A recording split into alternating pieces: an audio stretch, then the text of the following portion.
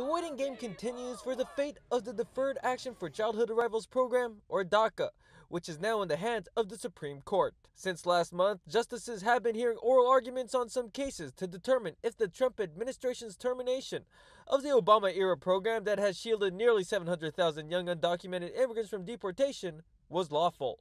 And while no new applications are accepted for now, DACA renewals could also change significantly because of a proposal to increase immigration fees by the Department of Homeland Security from $495 to $725.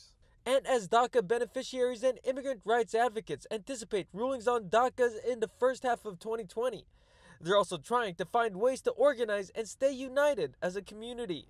It helped me to get out the shadows and actually pursue my dreams. And as a business owner now, I can see how I can generate wealth for this country and I can give back to my society. Ethnic Media Services and Los Angeles County supervisors recently held a briefing on the update of DACA, with some 82,000 recipients within the LA area. And officials say they'll continue to fight and provide services for DACA recipients. Anyone needing legal advice can also call our Office of Immigrant Affairs who is standing by to offer assistance. A public education should be afforded to all. On behalf of the nine college presidents, our board of trustees, I want to reaffirm our district's absolute commitment to a, a place where all students can pursue their educational goals and their dreams and aspirations irrespective of their immigration status. One in five undocumented immigrants in California are Asian.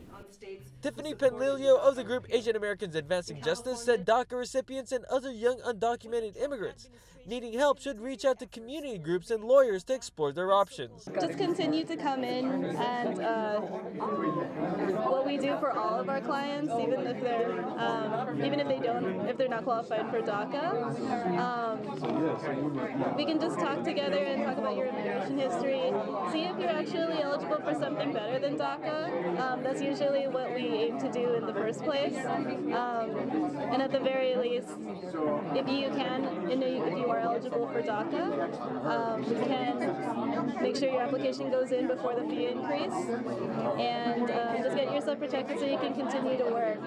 And while a fee increase for a DACA renewal is a possibility, she says applicants should also reconsider their options. I would probably sit in with a, a, legal representative to talk about whether it's it's advisable for you to file a year in advance.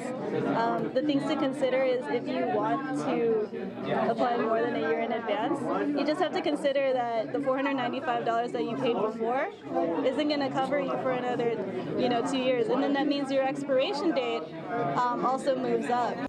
And so for now, the waiting game continues, and advocates are reminding the immigrant community that any proposed immigration fee increase would have to go through a public comment period before implementation. As for the Supreme Court decision on DACA, decision, they said there will also be a waiting period before any actions are taken on DACA recipients. Steve Angeles, CBS CBN News, Los Angeles.